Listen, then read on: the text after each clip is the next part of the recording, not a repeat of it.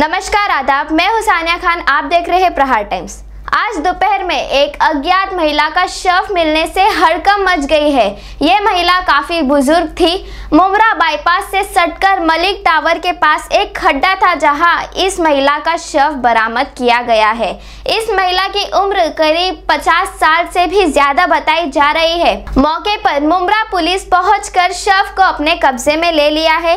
ये महिला का नाम क्या है कहाँ रहने वाली थी, इसका अभी तक पता नहीं चल सका है। ये सबसे बड़ा सवाल है कि आखिर इस महिला की मौत कैसे हुई? कुछ लोगों का कहना है कि लॉकडाउन होने के वजह से शायद ये महिला भूख से मर गई या फिर कुछ लोगों का कहना है कि इस महिला को मारा गया है। जितने लोग उतनी तरह की बातें सामने आ रही है। बहरहाल, पुलिस ने शव को पोस्टमार्टम के लिए कलवा शिवाजी अस्पताल में भेज दिया है। अब पुलिस जाँच में ही पता चलेगा कि ये महिला कहाँ रहती थी और इसका नाम क्या था और आखिर इस महिला की मौत कैसे हुई। प्रहार टाइम्स की सभी खबरें देखने के लिए सब्सक्राइब करें ताकि हर खबर आप तक पहुँचे।